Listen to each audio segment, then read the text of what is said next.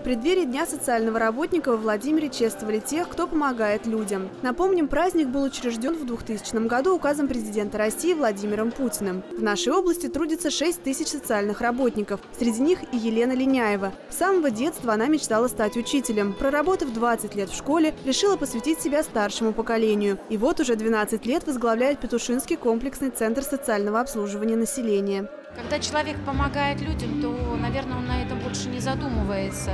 Э, в первую очередь, когда мы сумели преодолеть хотя бы какой-то один путь, это уже для человека радость.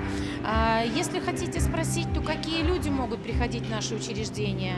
Ну, наверное, только милосердные, наверное, только добрые, наверное, только те люди целеустремленные, которые могут помочь людям. История развития социальной сферы уходит далеко в прошлое. Впервые социальные вопросы на государственном уровне стали обсуждать при Петре Первом, но сформировалась система ровно сто лет назад. Владимирская земля тоже имеет богатую историю становления соцуслуг, поэтому главный федеральный инспектор по Владимирской области Сергей Мамеев предложил открыть здесь музей работников социальной защиты. Вообще история, история богатейшая.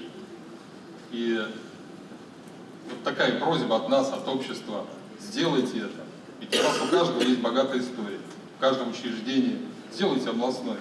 Будет интересно, есть что вспомнить. Социальные работники плечом к плечу трудятся со служителями епархии. Они совместно проводят праздники и поддерживают друг друга. Само происхождение социальное это слово латинское. Социес означает общество, то есть проблемы, вопросы общества. Вот какие они были всегда. Но вот есть Евангелие, которое спасает нас всех. Христос говорит, что я пришел не для того, чтобы мне служили. Я пришел для того, чтобы послужить вам. И вот это, знаете, как догмат ложится понятие социальной службы.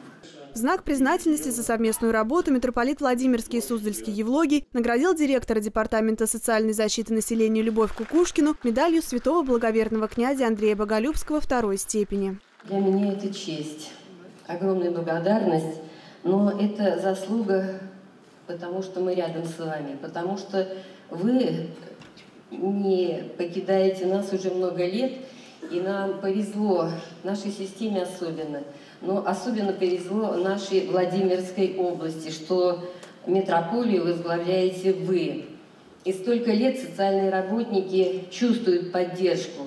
Поздравил с профессиональным праздником соцработников и вице-губернатор Михаил Колков. Он еще раз подчеркнул важность личностных качеств, которых требует профессия. На первом плане были и остаются готовность к состраданию, терпение, желание помогать и способность принимать людей такими, как они есть.